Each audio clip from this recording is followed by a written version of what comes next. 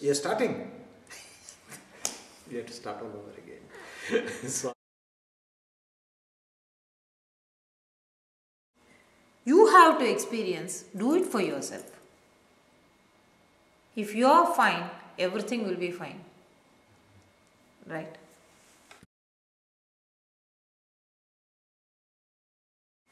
Yoga is to make yourself better than what you were before. Progress. yoga is a art of life, more directed towards devotion, more directed towards uh, unity and harmony in ourselves and uh, in everything that is uh, around us. And all the all the ways that uh, we use or we introduce for that uh, harmony and peace is yoga.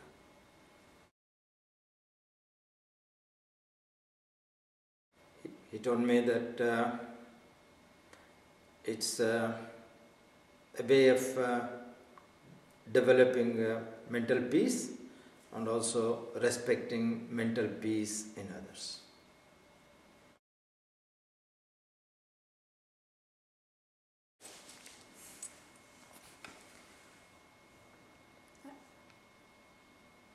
Okay.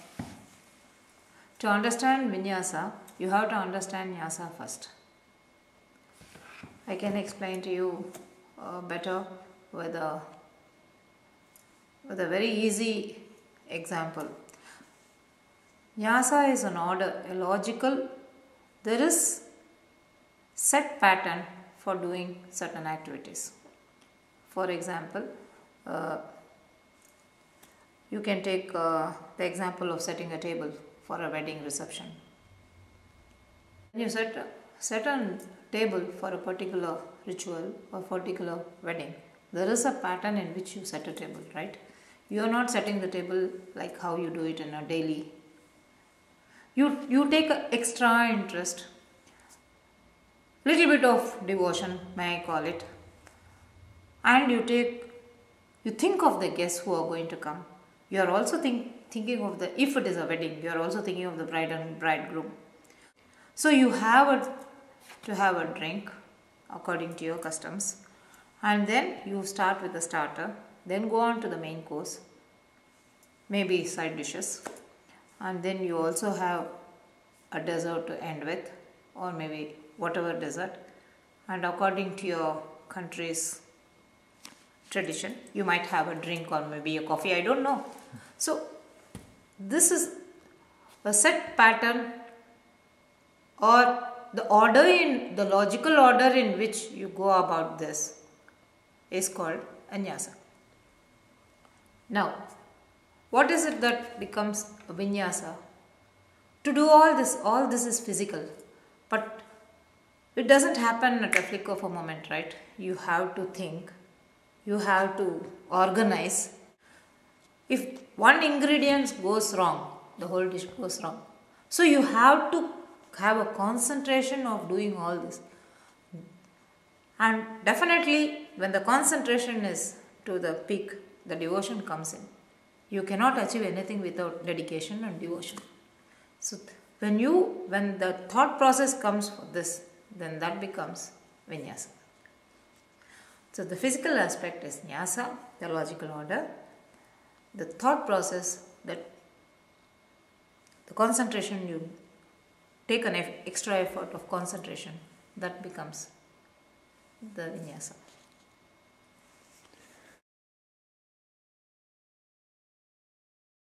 Years back, there was a difference between what yoga was in India for Indians and what yoga was for the Westerners, but now it's uh, almost same. In the West, I mean, normally, let us not go to any particular aspect. Normally, in the West, the motivation is, uh, let us say, physical and uh, mental well-being. Today, I mean, whatever whatever method you see in yoga, it's your search is uh, well-being. Whereas uh, in India, without, uh, again, in general, in now today, in the in India, yoga is uh, the motivation is because Westerners are doing. Maybe it was not there before, but now it's almost as though Westerners is giving them a stimulation to practice yoga, which might not mean that uh, they are pra- they practice or let us say they undergo lessons for well-being because. Uh, in India, our own culture, our own religion, our own devotion helps us to maintain uh, our mental well being.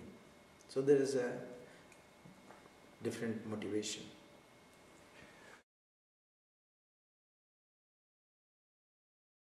Even there, even in India, I don't know. I, I don't know why men are not uh, like. I think there is an egoism with the men. I'm sorry. I'll tell you what. Not only yoga classes, you go to anything. In I don't know if you know what is a satsang. You know what is a satsang? There, good things. I mean, something nice will be.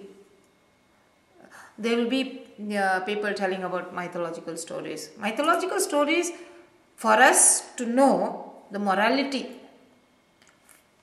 or maybe bhajans. I don't know if you have heard of bhajans, uh, singing of God's names or something. Anything, be it anything, it will be only ladies. Men percentage is very less. Men might think, oh, everything is fine with me. Why I bother? I have a feeling it must be that the male superiority, I can say. I don't know if I am allowed to say, I'm scared also. Maybe that must be. But my father had many male students. Okay. Hmm. my father have uh, my father had many. I don't know why it's like that.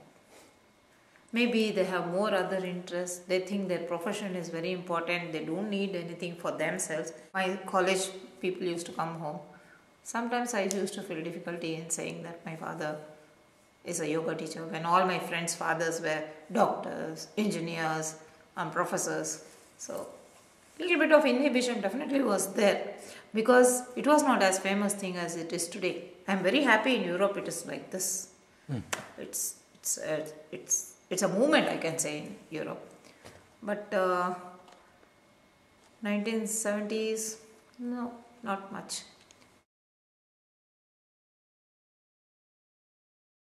That reminds me of uh, what uh, long back my father told me.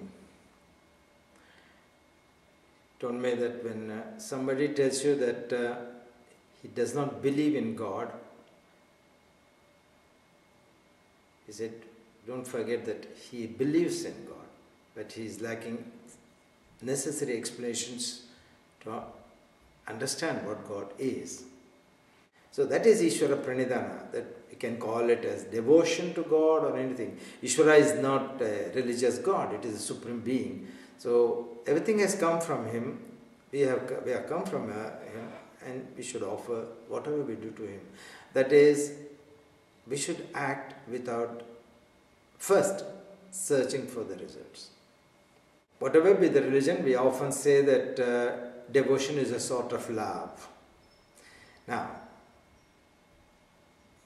you, you love your wife or your husband, you love your children, but whatever they do, you continue loving them. But okay, our, our social uh, liberties give us to divorce from our wife or husband, but even that case, we love our children, whatever happens. At times we are not happy with the children, but we still love them. Now, in case of God, it is same. We might not appreciate or like Him because we don't know who He is, what it is, whatever it is. But just like our children, we can still love them. That is, offer them what should be offered to them. So that has no limitation of religion in it. You don't have to be a religious to love your children.